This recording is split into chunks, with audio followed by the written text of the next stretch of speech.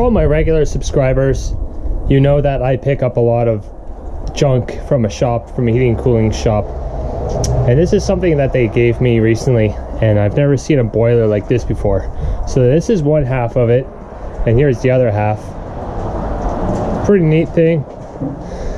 Uh, can't tell what's on this side, but the core seems to be something unique. This looks like a big block of aluminum and stainless. Um, there's a bunch of copper hanging on it too. So we got like a motor there, a whole bunch of stainless steel. I'm just gonna take apart this whole thing and see how much money I can make off of it. Uh, this is my only magnet I have. There's a metal bracket there, but it's all non-magnetic stainless steel. And inside here too. Kind of interesting thing, and there's also copper and brass all over it too. So let's take it all apart.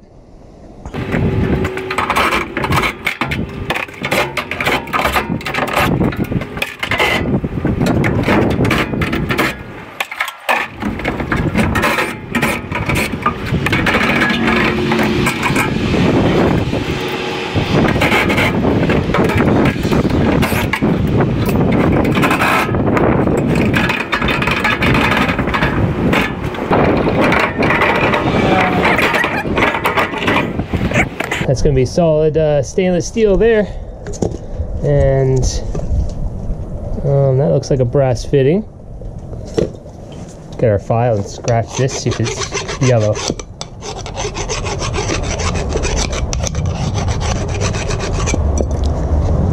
Yeah, well, that's definitely going to be brass. Uh, possibly even uh, red brass. Put that aside and we'll keep scrapping. Like I have to unscrew this part, unscrew this to take it off. Going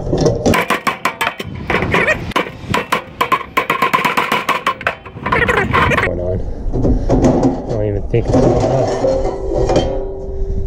Well, there we go. That's one way to do it.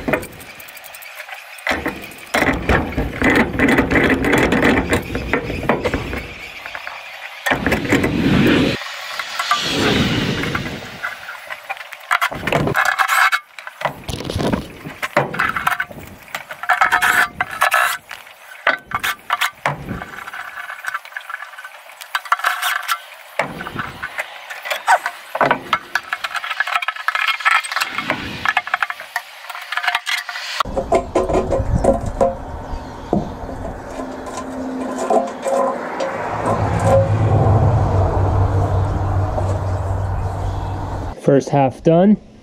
Stainless, brass, copper number two, some steel there, and that little bit of steel there.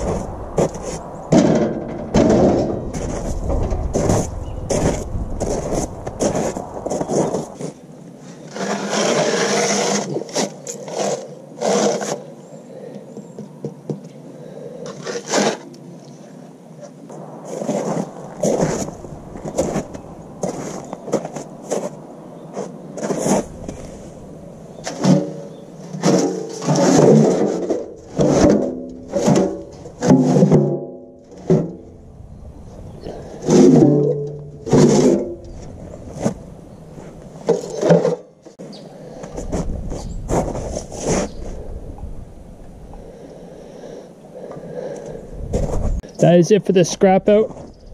Was it worth it? Sure, why not? What else am I going to do with my time, right? Good, good chunk of stainless steel here. This stuff here, I'm pretty sure my yard will take as clean stainless and I should get a decent cash, a little bit of cash for that. So this scrap out probably took me about two hours, two hours of time. And it was a lot of work because lots of different size nuts and I think there was even metric and standard sizes on this unit. Let me know what you guys think about this scrap out and uh, please comment down below if I did anything wrong or if you think you would have done something different. Please let me know in the comment section below. Hit the like button and I'll catch you guys on the next video. Have a good one.